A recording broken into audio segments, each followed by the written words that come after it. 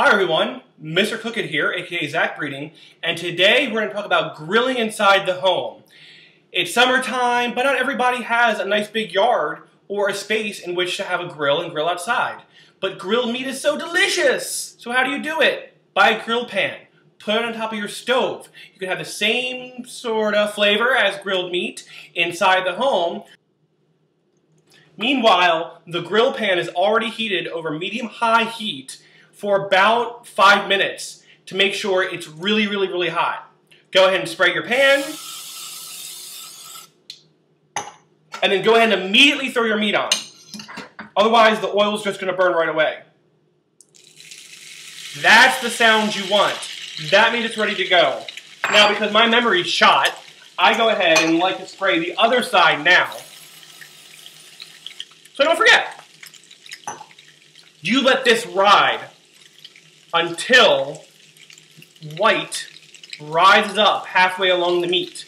That way you know that that side is done.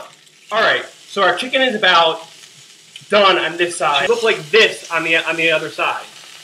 I go ahead and flip it the other way to have a little X and allow the chicken to cook the rest of the way, more white, the rest of the way up. You want to make sure that you're waiting for the chicken to be cooked upward before you uh, before you flip it over. Otherwise, the meat will stick to the bottom of the grill pan and it'll tear off chunks of meat, and you don't want that. That is not sexy. The white has risen up mostly half of the way on this piece of chicken, and juice has started to collect on the top of the piece of meat. That means it's ready to go. Go ahead and lift it. There's your X. Flip it over. To emulate a real grill from inside the home, you can utilize a pot pan lid to go right over top to allow it to smoke while it's searing on the grill pan. At this point, the chicken looks done, but it's not. Remember, it's chicken. It's thick and it's easy to sear on the outside and very hard to cook on the inside when you're searing. So lift it again. Check it, there are your lines. Flip it over.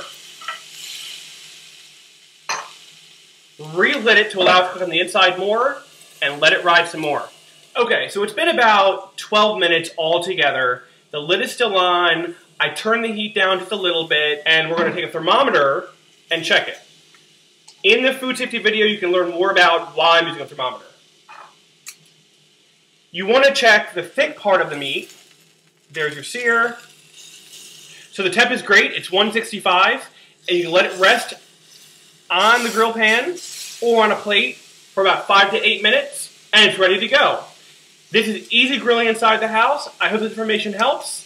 You can find more recipes and tips on www.thesage.org. Information listed below and following this. And peace out.